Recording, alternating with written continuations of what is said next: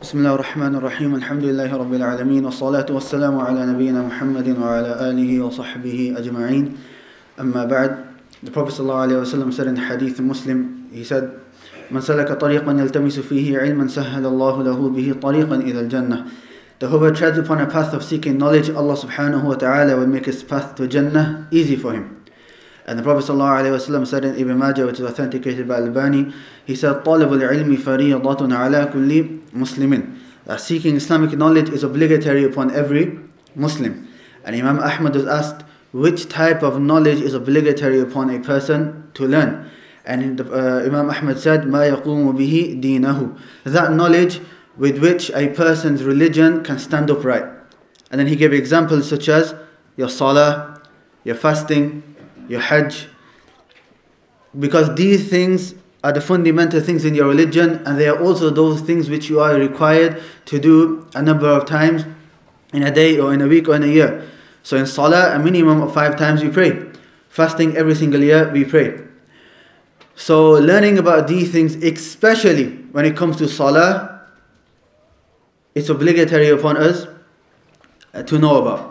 Because Allah subhanahu wa ta'ala, He says to us, وَمَا خَلَقَتُ الْجِنَّ وَالْإِنسَ إِلَّا لِيَعْبُدُونَ I have not created jinn or mankind except to worship me. Now this worshipping me is split into two types.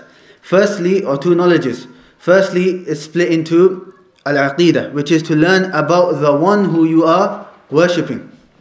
The one you are worshipping. That's aqidah. Then we have the science of al-fiqh, which is after you know about the one who you are worshipping, worshipping, then you need to know how to worship this one. There's no point just knowing and then coming and not knowing how to worship because then that will not be accepted. So you have to learn about uh, this. So the course that we're doing over today and tomorrow is known as fiqh of salah. Fiqh of salah. Now this is made up of two words. The first word is fiqh and the second word is as-salah. So what does the word fiqh mean? Linguistically, the word fiqh means al-fahm. It means understanding. That's why the Prophet ﷺ said in hadith, Man yuridillahu bi khayran yufaqihu fi din. That whoever Allah subhanahu wa ta'ala wants good for, He will give him the fiqh of the religion, i.e. the understanding of the religion. And in the famous dua, رَبِّ شرح لي صدري ويسر لي أمري وحل عقدة من لساني يفقه قولي. Um, uh, allow my speech to be uh, understood. So this is all from the word fiqh, from the linguistic perspective. Islamically or technically, what does fiqh mean? The ulama give a definition of fiqh. And definitions when it comes to the, uh, Islam is very, very important to know. And so in, uh, in the point, the point he says, إِنَّ مُبَارِيَ كُلِّ فَنٍ عَشَرَ الْحَدُّ وَالْمَوْضُوعُ ثُمَّ الثَّمَرَ He describes the word definition as had, a boundary. Why? Because anything which fits inside this boundary, that is considered whatever thing you are defining. So in terms of fiqh, anything which comes in this definition or this boundary of fiqh or which is part of this definition, then it is fiqh. Anything which is not concur with any of anything mentioned in this definition, then that is not considered fiqh. So the ulama say fiqh istilahan or shar'an is ma'rifatul ahkam al-shar'iyyah العملية بأدلتها التفصيلية معرفة الأحكام الشرعية العملية بأدلتها التفصيلية which in English is knowing the practical Islamic rulings with its detailed evidences knowing the practical Islamic rulings with, it, with its detailed evidences so each of these words give us a meaning when it comes to uh, this definition so what's the first word knowing meaning it's a type of knowledge. It's a type of knowledge that you have to know. Then he says, or the ulama say, ma'rifatul ahkam, it's the rulings. So anything which is not considered a ruling in Islam, then that is that does not come under the science of fiqh. So for example, a story. A story, will you find stories in the uh, books of fiqh? You won't find stories in the books of fiqh unless that story tells us a ruling. Otherwise, it's general stories you won't find in the books of fiqh. And what types of rulings? Ash-Shar'iyya, Islamic rulings. Islamic rulings. So anything which is not Islamic will not un come under uh, this definition. Ma'rifat ahkam shar'iyya al-amaliyya. So what type of Islamic rulings? Al-amal, those actions that you have to do. So what type of rulings? Those rulings which are pertaining to your actions. And not those which are pertaining to beliefs or to Arabic grammar or to anything else. Those that pertain to your beliefs, which science is that? That's the science of al-aqidah. That's the science of al-aqidah. So if you want to know what do we have to know about the malaika, for example, will you find that in the books of fiqh? You won't find that in the books of fiqh because that's not something that I, um, that's to do with your actions. Yes, obviously aqidah and tawheed, that's also of your actions, but Tawheed only goes to the extent of the belief, and obviously, yeah, it shows on your limbs, but when it does show on your limbs, that's when you go to the books of fiqh. You want to worship Allah? Okay, how do you worship Allah? Then you go to the books of fiqh. And then finally, بأدلتها التفصيلية, with its specific proofs. And this is the difference between this and usul al-fiqh, which I'm not going to go into too much. Uh, what basically means specific evidences, meaning every single action that we do has a specific uh, dalil for it. Dhuhr is four rak'at, we have a dalil for it. Putting the hands on a certain place, we have a dalil for it. To say certain things in the ruku', we have a dalil for it. Every specific action has a specific dalil. So this is the Islamic definition that the ulama give of fiqh. Now the books of fiqh generally, they're split into four parts. The books of fiqh are split into four parts. The first is known as al-ibadat.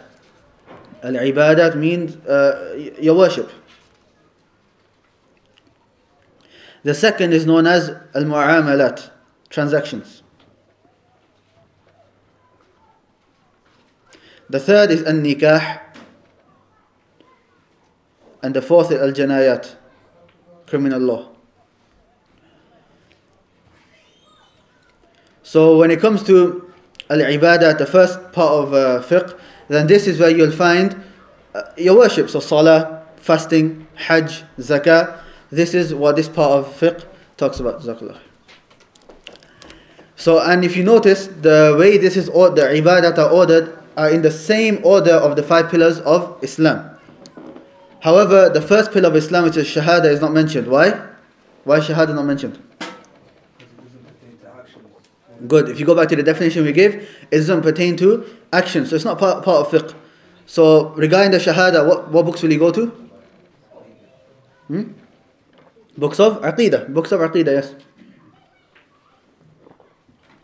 So the first chapter, the first book you'll find in fiqh is normally At-Tahara, which is a fruit, uh, a, a, branch from uh, Salah, because you can't uh, pray Salah without having wudu, and because due to the fact that Tahara has so many masail, the ulama split it, uh, make it its own uh, book. So we start with Tahara, cleanliness, uh, purification, and then Salah, and then Zakah, and then fasting, and then Hajj. Then we have mu'amalat, which is just transactions, buying and selling, and so on. And then after that we have nikah, and this is nikah, talaq, uh, all of these, masail, and finally janayat, which is criminal law. What's the punishment for this, what's the punishment for that, and so on. So if we, for example, we had, let's say we had a book which is four volumes. Each volume had one part of fiqh. If I wanted to find out the masala of, I said this to my wife, is, is it a talaq or not? Which volume would I go to? The third one, regarding nikah. If I went to, okay, I did this whilst I was fasting. Is my fast broken or not? Which volume would I go to? The first volume. And which, uh, which book in, in the first volume? The book of fasting. The book of fasting, very good. So this is regarding al-fiqh. So this is the first word. The second word is as-salah. As-salah. Now salah linguistically means ad-du'a. It means supplication. Linguistically, salah means a dua.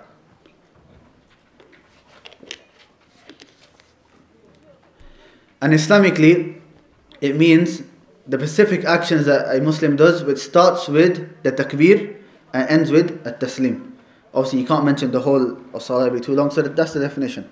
There's no one acts in Islam which start with the takbir, saying Allahu Akbar, and end with taslim, saying Assalamu alaikum wa rahmatullah. Now, this is salah. And we all know without any doubt that salah is obligatory upon us to learn. Like Ibn Qayyim says, anything which is oblig- obligatory to do is obligatory to learn about. And also the qa'idah of religion, ما لا يتم الواجب إلا به فهو واجب. That thing which the wajib is not completed with, except with that, then that thing is also wajib. If you can't pray properly without learning, then learning is also obligatory for you to uh, do. Just like wudu. Can you pray salah without wudu? You can't. So wudu is also obligatory. Same way as salah. And Allah subhanahu wa ta'ala, the first, uh, the first question that we will be asked about Yawm al-Qiyamah by Allah subhanahu wa ta'ala is regarding the prayer. And when the, the people who enter hellfire and people who enter uh, paradise, uh, the people in paradise will say to the people in hellfire, مَا سَلَكَكُمْ فِي سَقَرٍ What made you enter the hellfire? And they will say, the first answer, قَالُوا لَمْ نَكُ مِنَ الْمُصَلِّينَ We weren't from those who prayed. And here what happens, shaitan comes to us and he says, you know you, you've got a beard, you wear a hijab, you pray five times a day, so you don't need to worry about this. You don't need to worry about this. However, Allah subhanahu wa ta'ala says in Surah Ma'un, a surah which all of us have memorized, فَوَيْلٌ لِلْمُصَلِّينَ That's going to be destruction and punishment for those who pray.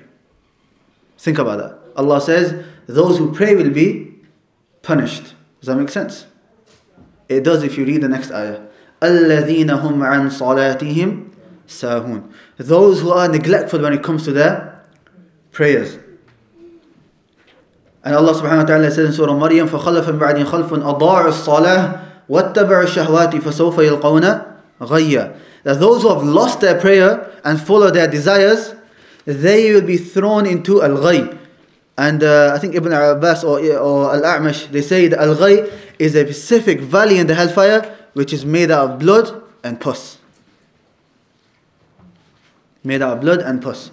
And 82 times in the Quran, Allah subhanahu wa ta'ala, He says, Aqimus salah. He says, establish the prayer. Allah subhanahu wa ta'ala doesn't say pray the prayer, He says, establish the prayer. Meaning, make sure you pray it properly. With all its conditions, with all khushur, with all its obligations, on time, if you're a man in jama'ah.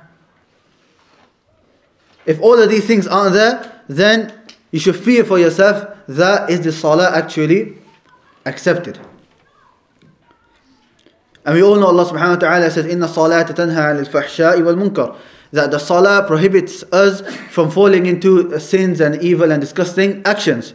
If you're still falling into these actions, think about your salah. Is that salah actually having an effect? If it's not having an effect, then think about the quality of that salah that you are praying. So that's why it's vital for every Muslim to learn about the uh, salah. So even most of the things that we're going to mention, most of them you might have heard before. But that doesn't mean that you don't attend. Because there might be things, there might be one thing that you learn, and that is the cause for you or for your salah not to be accepted. That there's one thing you're doing wrong, and your salah was not accepted due to that uh, reason.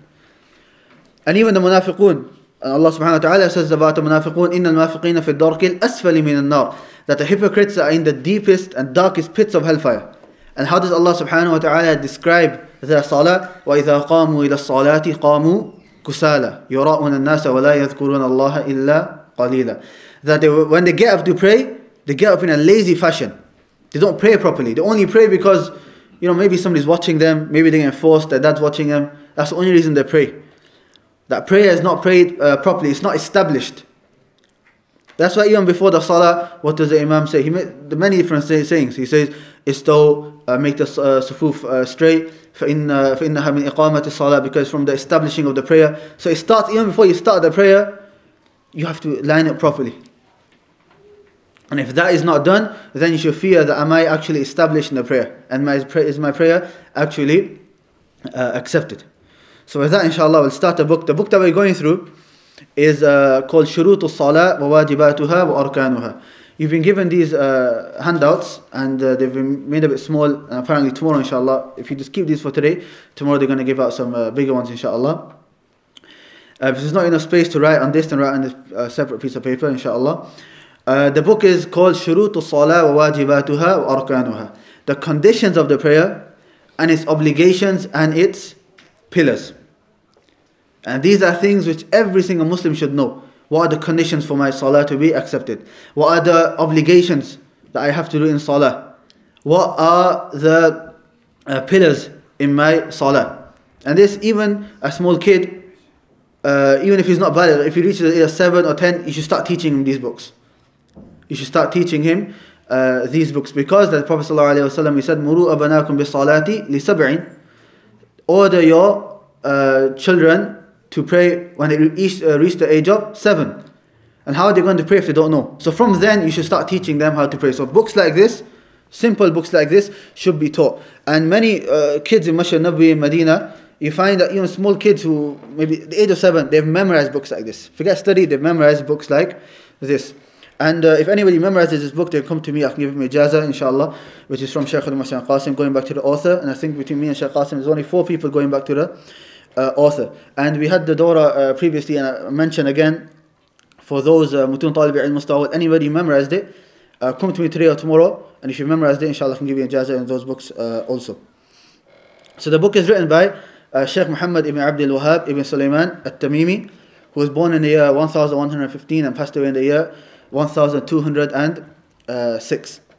And we don't have time to go into his biography. However, the same author who wrote Kitab al-Tawheed, the same one who wrote uh, Usul al-Thalatha, Qad Arba' Nawaqid Islam, and uh, many other books. And he wrote this book upon the madhab of the uh, Hanabila, which is, and most of are basic things that most of everything which is mentioned in this book is agreed upon by uh, everybody. However, he, he wrote it because he himself and those in uh, in his time they were upon the madhab of the Hanabila of Imam Ahmad ibn Hanbal, who was born in the year uh, 164 and passed away in the year 241.